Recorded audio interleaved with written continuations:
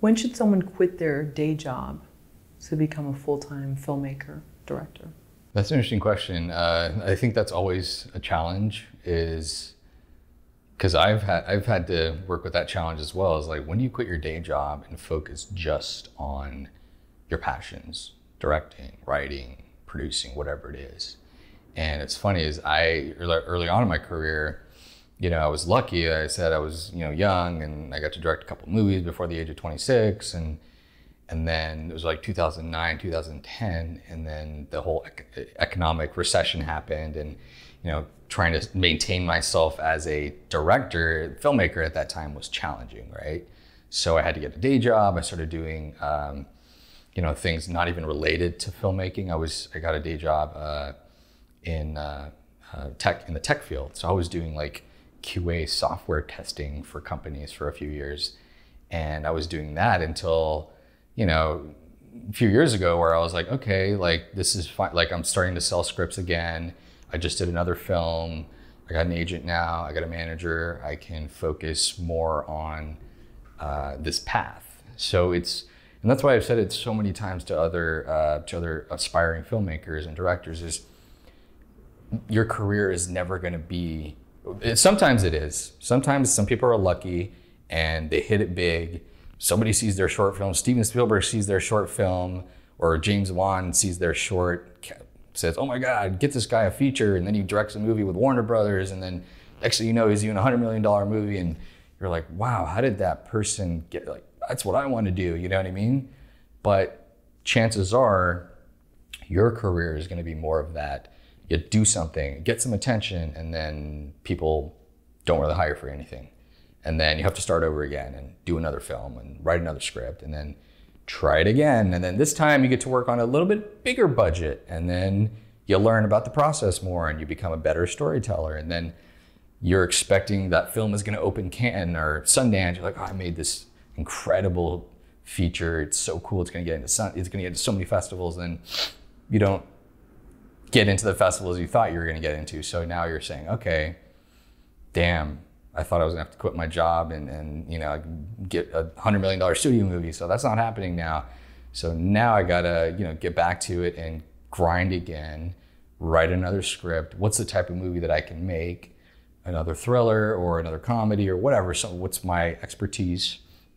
And uh, you got to go back at it again and try again and, and, and shoot another one and eventually what you'll look back on is you'll turn around you'll look at all that process and you're like wait a second.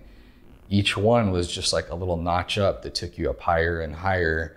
Bigger budget bigger talent bigger people more exposure. And next thing you know suddenly you're like oh i don't even need a day job anymore. I can just quit and i'm making enough money doing this that i can actually have a sustained career as a filmmaker. Was that your hardest year? The 2009 Yeah, I mean, there's there's always been hard years and and uh, good years and successful years and and it's it's up and down. It's hard to say. I could have a hard year in three years, but that's worse than that, right? Can make a movie and critics savage me and stuff happens. Like, oh well, you know. That's the thing I've learned from other successful directors and filmmakers is they don't let that stuff get to them. They're just they're working. They're making films. They're telling stories.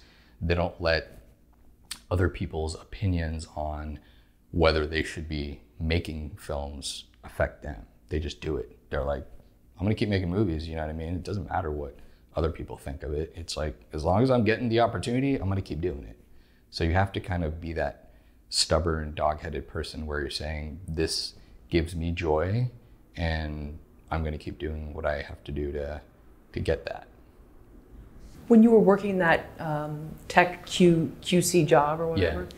we, I'm sure your mind wasn't totally there at times. No, You're right, thinking about what's it like. You know, I could do a script about this or something. You know. Yeah, no, it was definitely. there was times where, yeah, I mean, um, shit, I got fired from a couple jobs because I was like not like showing up. You know what I mean?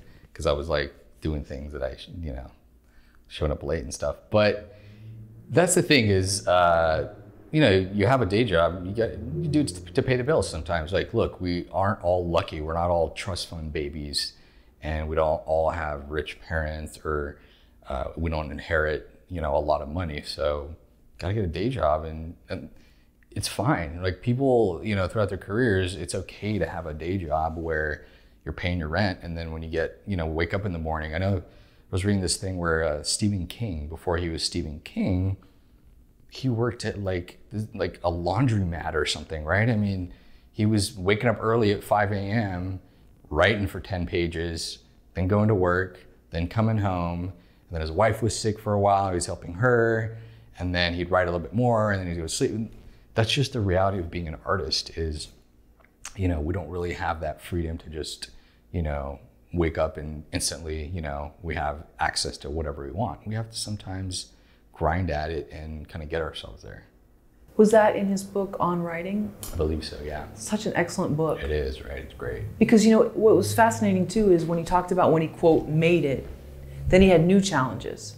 So right. I think that's what's like this misconception that you could be okay now you're without the day job, but now there's a new challenge and that is you're keeping track of your own time, you're keeping yourself on point. 100%. And he talked about how things got diverted a little bit and then that was sort of an eye opener for me. I didn't know yeah, no, that that can happen. Is that's the thing is when you are actually making your art, whatever that is, whether it's writing or directing or cinematography or editing, you realize, okay, yeah, you don't necessarily have a boss telling you, gotta show up at 9 a.m. and you're leaving at 6 or whatever.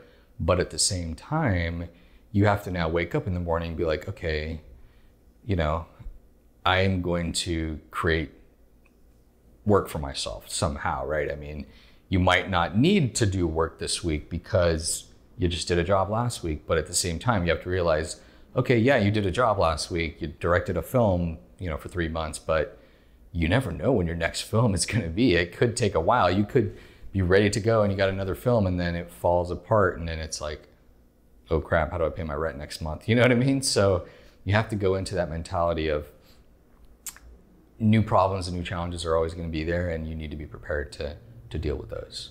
That doesn't mean you got to give up your passion, right? Mm. Just because you're in a day job and sometimes it's good to have a day job in the actual industry that you're working in. So if you're a writer, it's great if your day job is reading other people's scripts because now you're learning from other people. Or if your day job is, uh, let's say you want to be a director, your day job is editing so now you're editing other directors' work and you're seeing, oh, that was interesting, or he screwed that up, or she screwed that up. So seeing what other people do will definitely during that day job so that when you do get that opportunity, you're using all that experience.